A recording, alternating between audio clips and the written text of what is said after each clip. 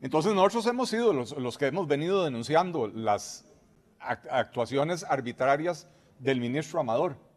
Pero en este caso específico, el que llevó a la salida del ministro Amador, diputado Ariel, no le quepa la menor duda de que el presidente se la montó al ministro. Presidente Chávez se la montó al ministro. ¿Y sabe cómo?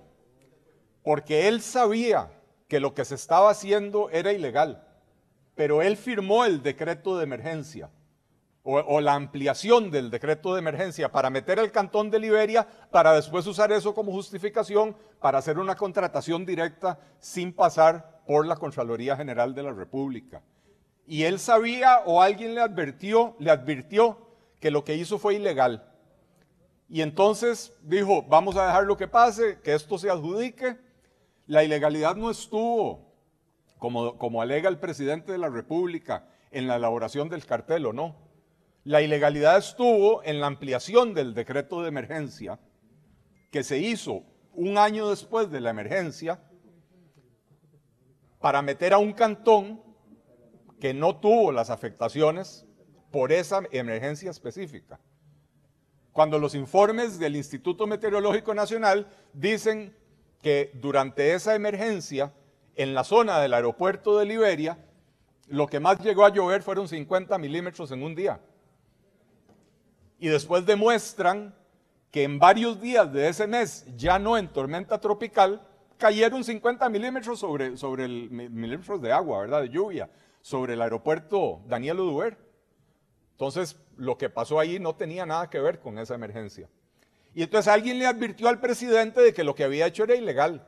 Y entonces, ¿qué hace el presidente? Dice, vamos a dejar que esta carambada se adjudique para que se hagan las obras en el aeropuerto de Liberia y después quemo al ministro para poder después alegar, el ministro me embarcó.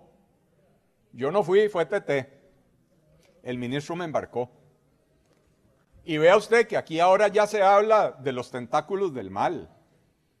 ¿Verdad? Ya anda circulando un meme con un pulpo. ¿Verdad? Este, y sí, claro, claro, es que las cosas no suceden en el vacío. Las cosas no suceden de la nada.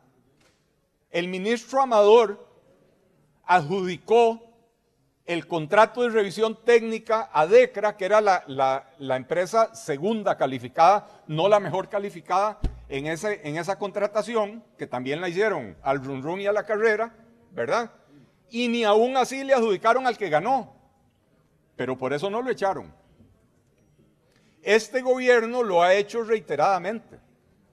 Este gobierno ha utilizado diferentes mecanismos para evadir las reglas de la contratación administrativa.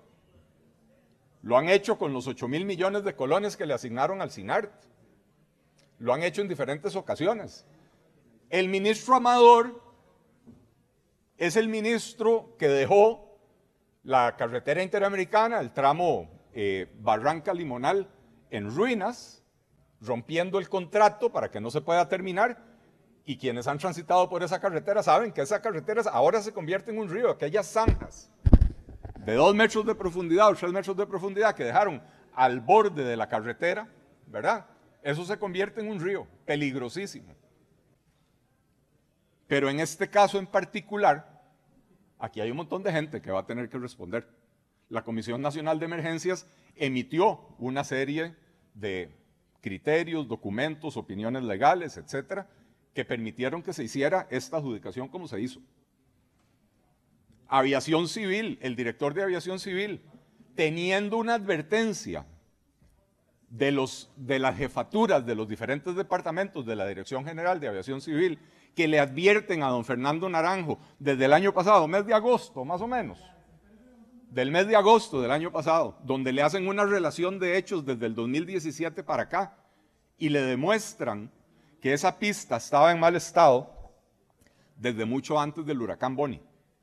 Bueno, en vista de que fue interrumpido y perdí el hilo, reitero o, reinicio desde, desde donde me recuerdo que iba, reconociéndole al diputado Diego Vargas esa labor que hizo durante meses de exponer y exhibir las malas actuaciones del ministro que nos dejó todas las obras importantes del país detenidas, con contratos rotos Y apunten lo que voy a decir, porque a este país le va a costar millones de dólares las indemnizaciones de esos contratos que rompió el ministro Amador.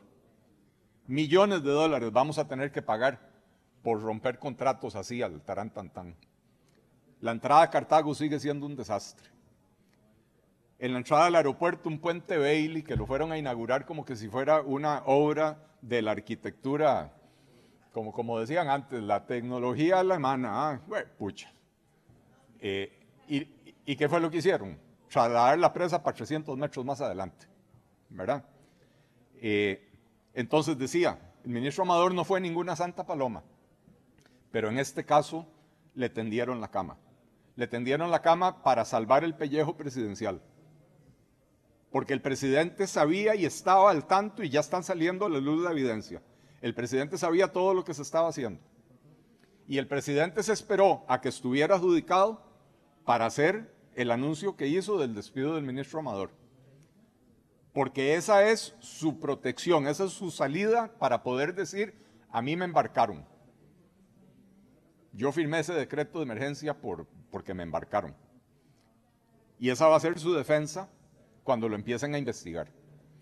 Así que, señoras y señores, sí, lamentablemente estamos ante una situación, eh, no voy a decir inédita en la política costarricense, porque hay escándalos de corrupción ya hemos tenido, decenas y cada escándalo de corrupción toma una forma diferente. Pero lo que estamos viendo aquí es que este gobierno que se las tira de, ser tan antipartido tradicional, al final de cuentas sigue usando las mismas prácticas de siempre. Eh, y al final de cuentas el tema es, no, no, no es si las cosas se hicieron bien o mal, sino a quién se va a beneficiar.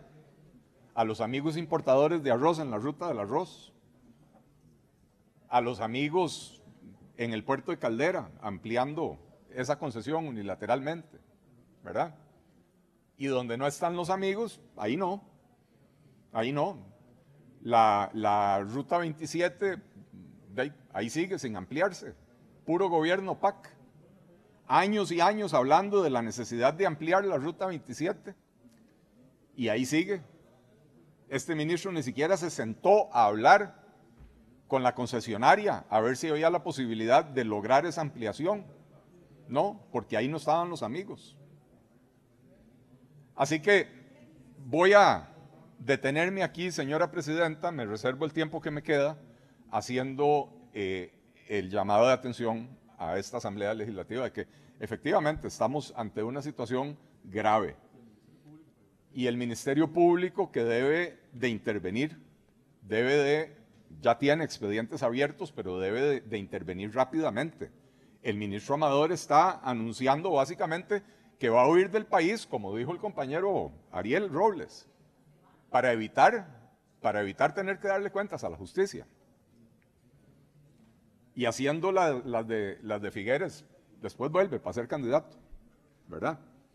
Eh, entonces, ojalá que el Ministerio Público intervenga rápidamente y ojalá también que la Contraloría, que no podía hacer la examinación ex ante porque la declaración de emergencia, ahora sí haga por lo menos el análisis post-mortem para que determine responsabilidades administrativas también. Muchas gracias, señora presidenta.